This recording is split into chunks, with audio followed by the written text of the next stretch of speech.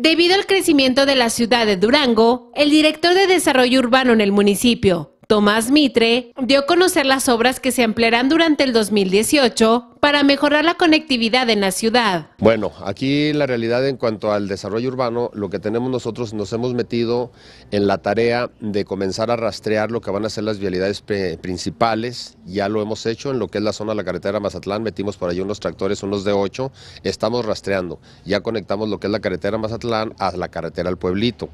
llegamos a lo que son los fraccionamientos senderos, calzadas y pasamos por toda esa parte. Estamos tratando de que se quede esa vialidad porque la necesitamos para conectividad. Otra de las que estamos también gestionando, que vamos a comenzar a trabajar para el rastreo, que ya se hizo, es la prolongación de lo que va a ser el circuito interior,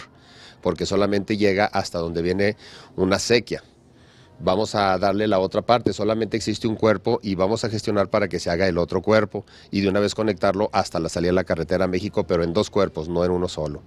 Otra de ellas que tenemos también va a ser la continuidad del Boulevard de las Rosas, que ahora se llama Juan Pablo II. Lo vamos a conectar en rastreo hasta la carretera Parral. Junto con ello vamos a tener también la calle Ciudad Juárez, que es la que está frente al fraccionamiento Bodantán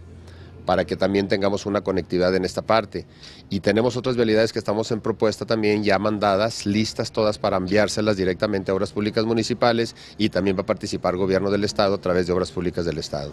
Con imagen de Alejandro Silva, informó para Canal 12 Denis Villarreal.